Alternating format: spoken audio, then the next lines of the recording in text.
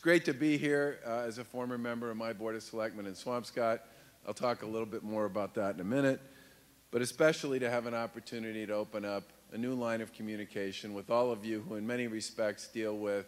what I have always referred to as the front line of government here in the Commonwealth. And as Kevin pointed out about a year ago to this day, I stood in front of all of you and said that if we were, if Karyn Polito and I were elected governor and lieutenant governor, we would in fact release the Chapter 90 money before I took off my jacket. And while I don't think we got it out before I took off my jacket, um, I certainly think we got it out shortly after that. And that was our way of saying that if we make a commitment on something like that, we plan to follow through and deliver on it.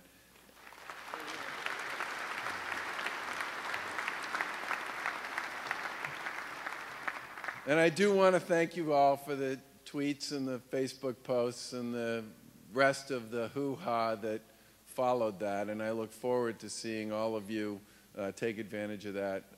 that funding to do some great things in your communities with respect to infrastructure, roads, and, and all the rest. And of course, for me, that in some respects represents what I hope will be first step of what will be a very healthy relationship going forward.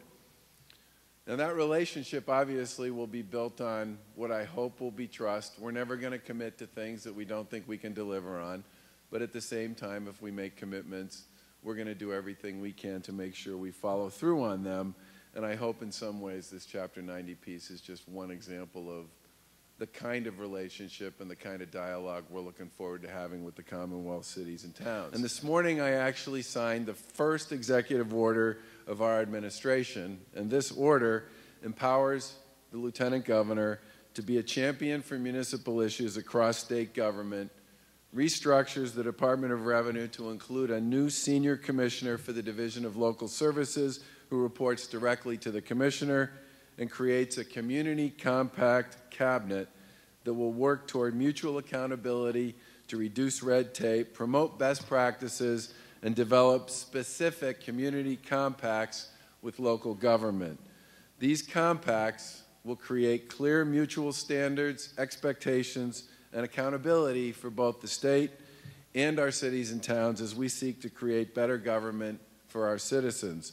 And it's my hope that this executive order and the early actions this administration can take with respect to cooperation with our cities and towns can produce real results for you and for the people in your communities. Karyn will obviously have more to say about this during her remarks, but this is going to be a way in which we believe the door to our office, the door to our administration, will be permanently open and available to all of you as you work through the issues that you'll be dealing with on the ground in all of your communities.